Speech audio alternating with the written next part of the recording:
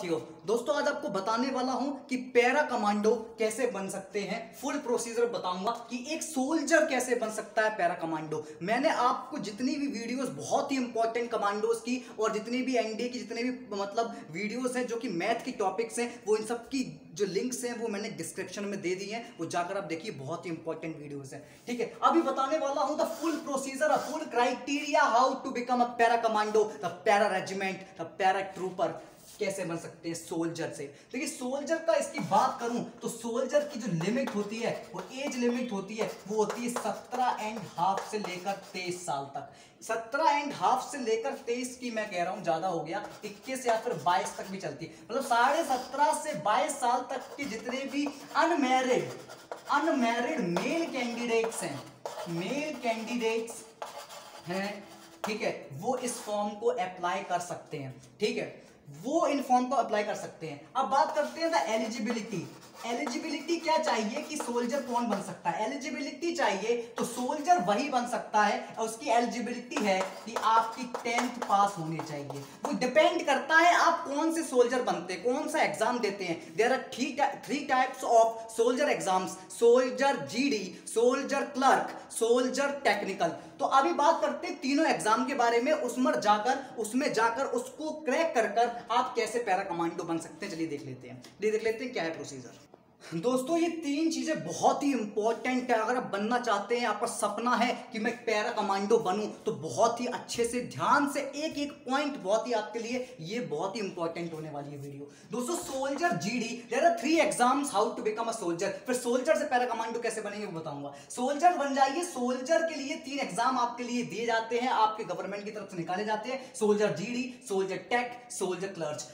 clerk अब हम लोग बात करते हैं इसका प्रोसीजर देखिए, इसका एज बताते हैं कि कितनी एज चाहिए आपको सोल्जर जीडी के लिए। तो एज होती है दोस्तों साढ़े सत्रह से लेकर इक्कीस साल। साढ़े सत्रह से लेकर इक्कीस साल। अब बात करते हैं इसके लिए एलिजिबिलिटी क्या है? एलिजिबिलिटी इसके लिए पास होनी चाहिए, ठीक है? इसका एग्ज़ाम होता है, इसमें जर्नल जर्नल साइंस आती है जीके आती है और आपकी मैथमेटिक अर्थमेटिक का पोर्शन आता है, ठीक है? अगर आप कहेंगे कि सोल्जर की क्या क्या वो उसका जो क्या क्या स्टडी मटेरियल है, वो आप बताएँगे तो मैं आपको ज़रूर उस पर वीडियो बना दूँ आप नीचे कमेंट करके मुझे बता सकते हैं। अब बात करते हैं सोल्जर टैग के लिए। सोल्जर टैग के लिए जो एज लिमिट होती है, वो साढ़े सत्रह से तेईस साल की होती है। देखिए, सबका अलग अलग क्राइटेरिया इसलिए आपको बहुत ध्यान से समझना होगा। हर पॉइंट आप पेन लेकर लिख भी सकते हैं। अगर आपका सच में सपना है कि आप चाहते हैं कि पैरा कमांडो कैसे बने। देखिए, इसका जो पेपर होता है बहुत ही सरल होता है, पर हम जब एनडीए की बात करते हैं एनडीए का पेपर रियली बहुत टफ होता है, और एसएसबी भी उसमें होता है, इसलिए इसमें आपको कम समय में अच्छी पोस्ट आपको मिल रही है, इसलिए मैं आपको बताना चाहता हूँ। और इसमें ज़्यादा आपको दिमाग में लगाना, बहुत सिंपल क्वेश्चन आते हैं, ठीक है?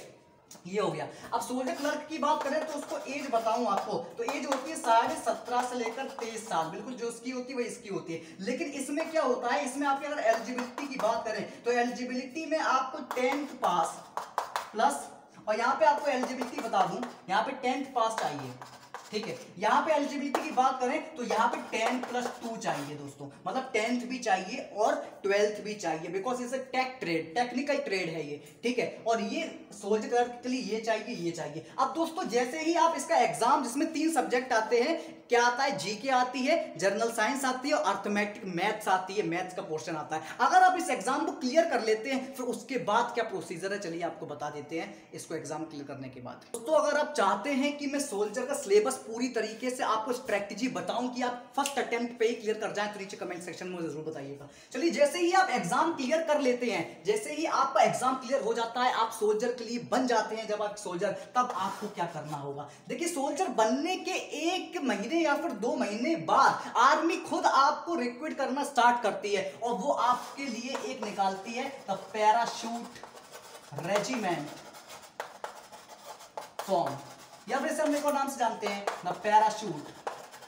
Battalion form battalion form ये आपको एक मह, एक महीने या फिर दो महीने के बाद ही जैसे आप सोल्जर की पोस्ट पर रहते हैं अपने उसके बाद ये निकलता है। जब आप इस फॉर्म को फिलअप कर देते हैं देन फिर फिलअप कर देते हैं है ना?